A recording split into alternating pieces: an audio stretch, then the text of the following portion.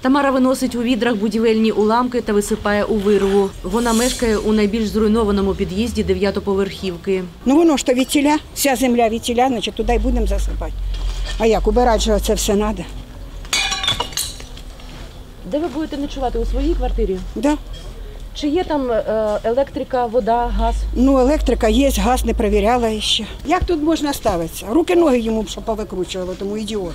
Ракета поцілила просто у двір будинку. Внаслідок удару утворилася воронка 3 на 6 метрів. У будинку вибиті вікна, зруйновані балкони, пошкоджені квартири. Вибуховою хвилею розірвало газогін. В квартирі вилетіли три вікна, балкон, двері вхідні, е, двері міжкімнатні повилітали. Надали допомогу, гуманітарна допомога, плівка для закриття вікон. Від ранку люди розчищають свої квартири від сміття та допомагають один одному ремонтувати вікна. И слышу, как будто бы из-под земли такой громкий, громкий это, взрыв. И все. Ну, в квартирі що тут у вас? Ну вот это окна. Повилітали. Да. Везде, да? А хто вам зараз допомагає вставляти? Родственники, знакомые. Валерій мешкає по сусідству, перевіряє свою автівку у дворі. Ну, Стекла побиті всі. Не ці, ну передні, задні вискочили. Якщо розрішати, відгоню, звісно, не на стекла встановити.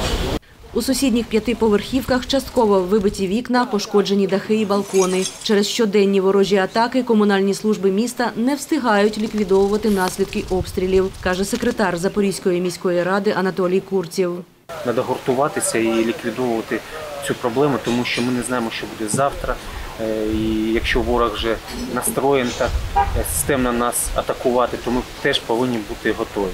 Наслідки обстрілу та обсяг пошкодженого майна зафіксували правоохоронці і представники місцевої влади. З людьми на місці працювали медики та психологи. Прості питання. Які? Де ви працюєте? Як е, у вас з сім'єю? Що турбує вас?